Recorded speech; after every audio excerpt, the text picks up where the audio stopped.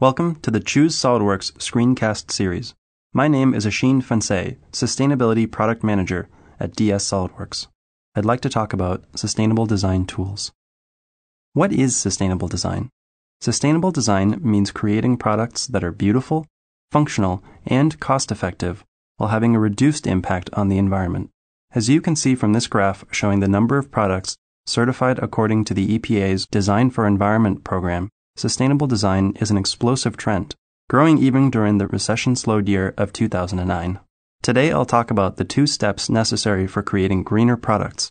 First, using environmental assessment tools to measure the impact of the design, and second, using sustainable design techniques to reduce that impact. Let's start by discussing environmental assessment. Environmental assessment tools range from the simple back of the envelope variety to the fully ISO certified process called life cycle assessment. Generally, as you go from the more casual to the more formal, you see a resulting increase in the time and cost required to do the assessment. The simplest form of environmental assessment is basic engineering intuition. In my previous work in the sustainability industry, I was involved in an assessment for office product maker Avery Dennison's PVC free binder line. They launched this project because they felt that PVC plastic was detrimental to the environment. They later followed this up with a more rigorous mode of environmental assessment, but their intuition was a great place to start. As a next step, a company might formalize their engineering intuition into a company scorecard, such as this green card developed by Item Group, now called Zymetica, which designs Staples' own branded products. This company scorecard compares a few concept designs qualitatively for things like energy use and packaging. The company might take the next step to adopt conceptual life cycle thinking, which means assessing a couple concept designs by drawing a qualitative comparison of which design uses more best practices through a spider diagram or similar chart. This Eco Design Strategies wheel or LIDS wheel shows best practices such as using lower impact materials or optimizing the durability. Next, conceptual life cycle thinking might be formalized into some kind of numerical system, like a spreadsheet. This is called qualitative LCA, or sometimes referred to as a qualitative matrix LCA. This simply means that the company is formally capturing the impacts they care about, such as air impacts, solid waste, or toxicity, seen here on the left, and the life cycle stages they want to assess, such as material, process, and disposal, seen here on the top. The numbers or check marks they fill in into the cells may be assigned with careful research, but they're still subjective. This particular qualitative matrix LCA, developed by 3M, asks the user to indicate the relative risk in each cell. Industry scorecards provide a type of qualitative LCA that acts as a usually voluntary standard within that industry. Industry scorecards, like this one from the Outdoor Industry Association, Consider the typical life cycle stages and key environmental impacts, just like a qualitative LCA. They're more robust than company scorecards or qualitative LCAs, though, because they have to consider a range of products within that industry, and so they usually provide a more thorough measure. Finally, a full life cycle assessment uses the same framework of life cycle stages and environmental impacts as a qualitative LCA but uses scientifically based methods for arriving at the numerical values for each impact. LCAs are performed according to an internationally recognized process given by the ISO 14040 series. An LCA is the most comprehensive way of performing an environmental assessment of a product, but it's also the most demanding. An LCA typically costs around $30,000 and takes three months to perform for a single product. So where does SOLIDWORKS sustainability fit into this array of environmental assessment tools? We believe that the most successful approach is to leverage the power and scientific rigor of LCA data and bring this upstream into the design phase. This way, we perform a sort of qualitative LCA, but using real industry average numerical data. This type of assessment is often referred to as a screening level LCA. To enable engineers to perform screening level LCAs within the SOLIDWORKS design environment, we've partnered up with the pioneering LCA firm PE International. We've squeezed PE International's 20 plus years of LCA experience and data into every copy of SOLIDWORKS. Now that you've seen our approach to environmental assessment, let's explore how SOLIDWORKS sustainability can help you actually design or redesign a product to be more sustainable. There are three distinct levels of redesign that we often talk about in sustainable design. Relating to the product system, these levels describe the degree of environmental impact reduction that is possible. For example, when we talk about a factor 2 reduction, that means cutting the impacts by half. Factor 5 would be a fivefold or 80% reduction. The three levels are optimizing an existing system, altering an existing system, and changing to a new system, and are best described with examples. Level 1, optimizing an existing system, is like a car that has been streamlined to improve its gas mileage. This efficient Civic is a good example of a product system that is optimized. Level 2, altering an existing system, is like a car that has been fundamentally altered but still operates within the existing product system. For example, the Prius is a hybrid of two different power sources and has an altered drivetrain, transmission, and braking system, but it still operates within the product infrastructure of roads and gas stations. Level 3, changing to a new system, is a product that breaks the existing system paradigms. The Nissan Leaf is a car in transition to this third level.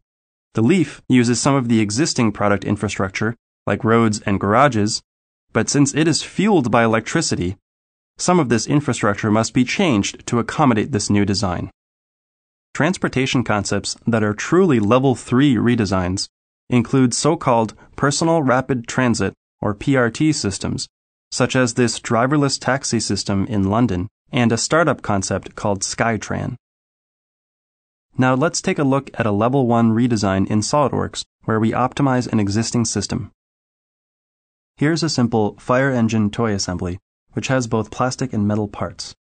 First, I'm going to check the environmental parameters, like where this product is assembled, its primary mode of transportation, where it's used, and how much energy it consumes in its use.